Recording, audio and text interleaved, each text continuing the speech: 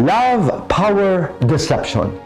This is a tagline of the epic Philippine staging of M. Butterfly, the Tony Award winning play by David Henry Hwang.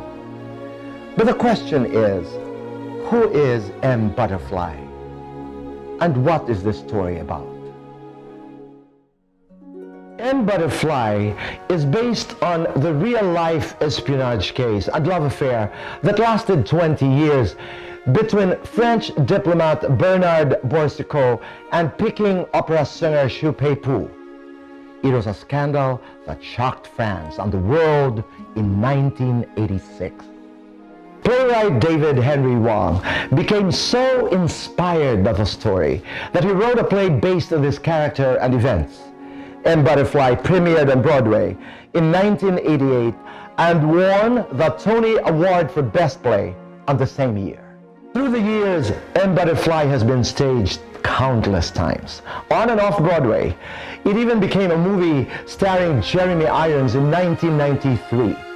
Its latest incarnation on Broadway happened just last year, with Hollywood actor Clive Owens playing the lead Rene Gallimard, a newcomer Jin Ha in the title role, A Song Liling. This year's Manila production of M. Butterfly is a celebration of the play's 30th anniversary.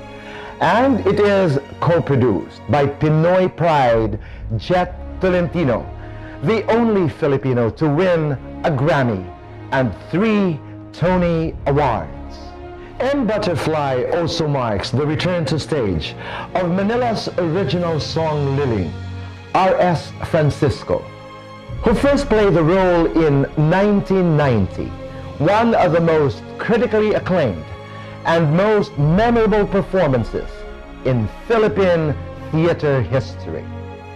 I'm Boy Abunda, and I'm inviting you all to watch M. Butterfly, brought to you by Jhett Tolentino and Front Row Entertainment. See you at the theater.